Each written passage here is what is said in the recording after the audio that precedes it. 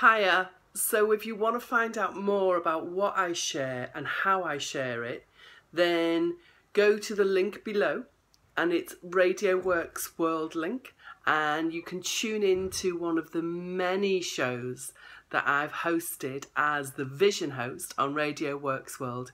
I love sharing my thoughts, my ideas, but what I love most is the sharing. So I'd love to know more about what you think when you've tuned in to one of the shows through the link below. Let me know.